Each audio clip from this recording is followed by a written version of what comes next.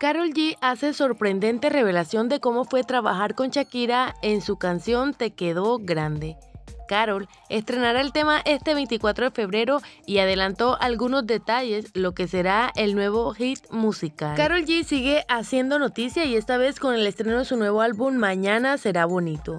Sus fanáticos esperan con ansias este viernes 24 de noviembre para deleitarse con la música de la colombiana. Sin embargo, lo que causa más intriga es que una de las canciones próximas a lanzarse es un dueto con la gran Shakira, quien recientemente publicó una sesión con Bizarrap que dejó muchos cabos sueltos sobre algunas posibles indirectas que serían dirigidas para el padre de sus hijos Gerard Piqué.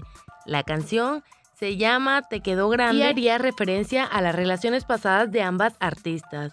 Cabe resaltar que es la primera colaboración juntas de las dos intérpretes luego de largas conversaciones para que el gran junte musical se pueda dar. Carol confiesa lo exigente que fue trabajar con Shakira.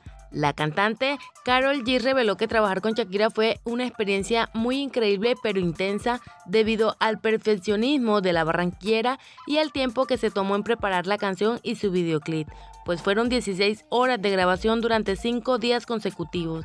Incluso hubo tomas que se tuvieron que repetir hasta 35 veces. Pero, ¿qué dijo Shakira al escuchar la canción de Carol G? La popular bichota confesó que Shakira quedó impresionada al escuchar la letra de la canción Te quedé grande. La barranquillera aseguró que la lírica plasmaba todo lo que ella sentía en ese momento. Ella dijo, Dios mío, gracias.